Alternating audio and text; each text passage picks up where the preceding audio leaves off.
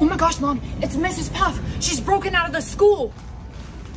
These are just so cute. What is it, sweetie? Mom, that's literally my teacher. What do you mean she broke out of school? How do you think she's in the store right now? Like, she must have gotten loose. This is illegal. Uh, no, sweetie. She does not live at school. I'm sure she has a house. I'm gonna go sneak up on her.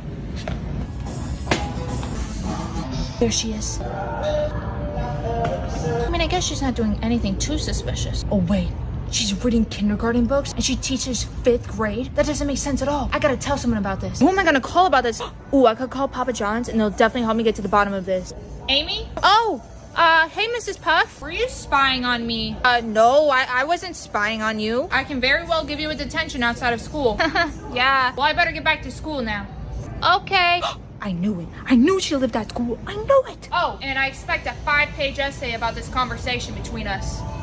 Really? Dang I don't like today!